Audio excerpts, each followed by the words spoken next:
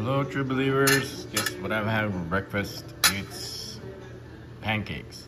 Boss made pancakes, so I'm making my version of like strawberry cheesecake pancake for breakfast.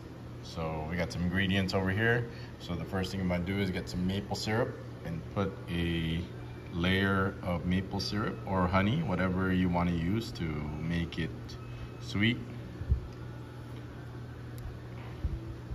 There.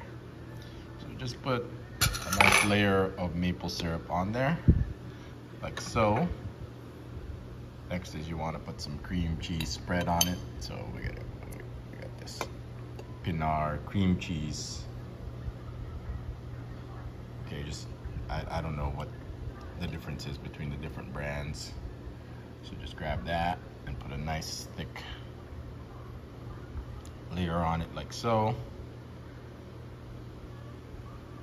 Just kind of spread it. And then let's get some, let's get a fresh spoon over here and get some strawberry jam, Smuckers.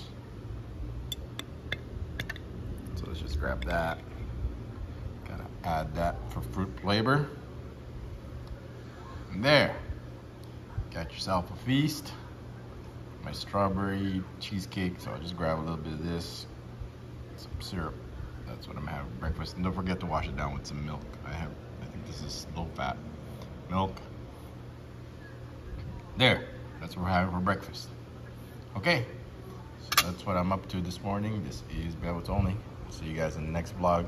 Thanks for watching.